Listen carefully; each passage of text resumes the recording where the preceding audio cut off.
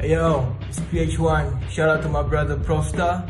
He will be dropping an album called The Family Matters and a single named Streaming. Stay tuned. One love.